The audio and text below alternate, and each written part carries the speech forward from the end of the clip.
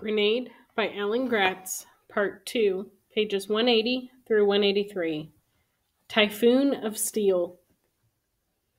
Hideki made a rectangle with his fingers and squinted, framing an imaginary photograph. All around him, thousands of Okinawan refugees and Japanese soldiers trudged south in the pouring rain. The Japanese soldiers didn't even stop to go to the bathroom.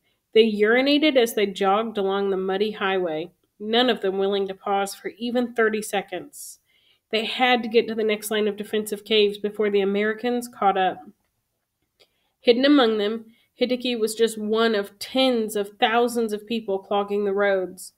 The highway would take them through Shikina to Ichinichibashi, and that's as far as Hideki needed to go. Ichinichibashi was where his sister would be. Hideki had never been this far south before, but wherever he was, it didn't look like Okinawa anymore. American bombs had knocked down trees and taken the tops off hills, stomping the landscape flat like an angry god.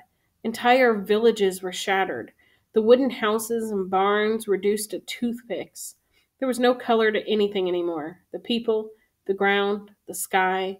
They were all a dull, filthy gray brown, like all the paints on an artist's palette had been swirled together in a muddy mess. This wasn't Okinawa, not the Okinawa that Hideki knew and loved. Hideki had always used his fingers to frame what he was seeing in front of him, the way the photographer had taught him, but now he did something different. Now he used the frame to imagine the way Okinawa had been, before the Americans had invaded, before the Japanese army had brought in cannons and built bunkers.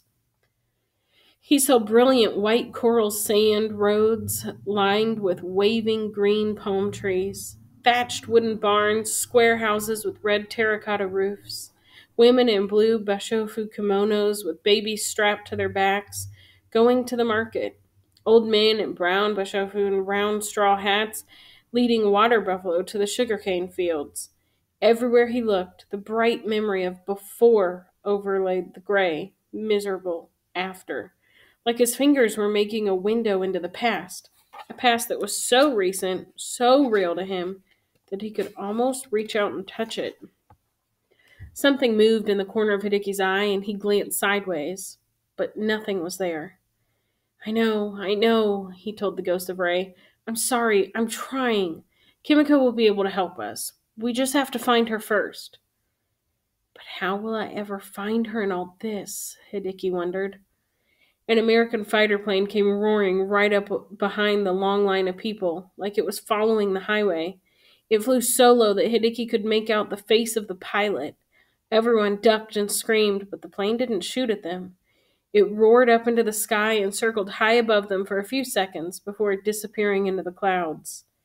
The Japanese soldiers among them shoved Hideki and the other Okinawans out of the way as they ran off in all directions, and Hideki suddenly understood. The plane was a spotter for the battleships offshore.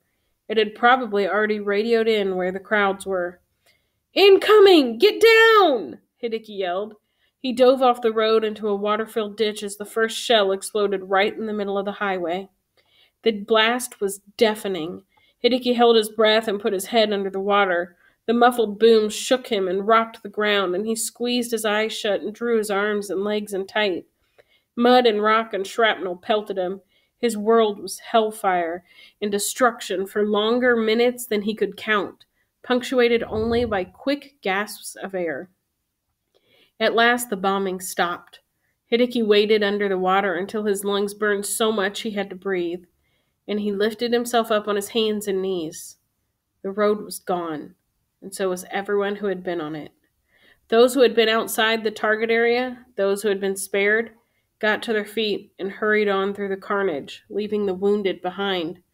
And Hideki, his eyes dry and his heart hard, did the same.